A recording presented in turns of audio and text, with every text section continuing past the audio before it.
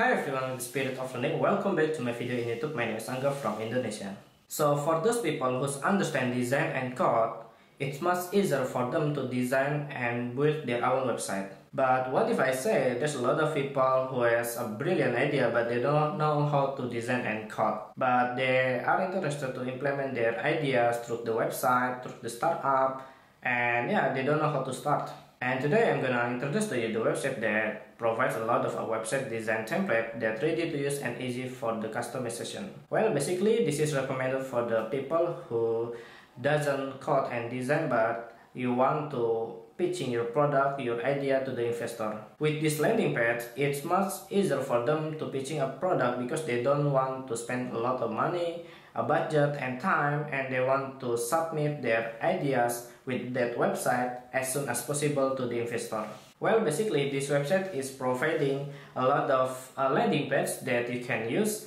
So the reason why the first page is the landing page because landing page is the place uh, where the user and where the visitor come from the advertisement or from the Google search. So the landing page has to be uh, beautiful and has to be clear to uh, giving an information in terms of their own startup. If your landing page is not good enough, how can the visitor become interested with your own idea? How can the investor become uh, excited to invest their own money to your startup?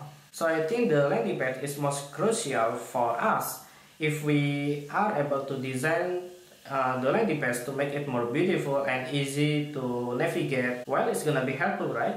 Okay guys, so basically you are able to download a variant of design that you can visit in the cruip.com. I don't know how to pronounce correctly, but just check in the video description and just uh, try it one by one okay guys after you download you are able to edit the template with the text editor either sublime text or notepad plus plus or brackets or atom or even uh, visual studio code but yeah just use what you like for. So the conclusion is if you do have a brilliant idea but you don't know how to design and code just use the free design resources and try to learn to edit them based on your information of your startup or of your idea and submit the website to the public and publish it or even if you want to submit to the investor because with that way you are able to save the money budget and time. And even you get the rejected from the start uh, from the investor you may still have a lot of time that you are able to implement your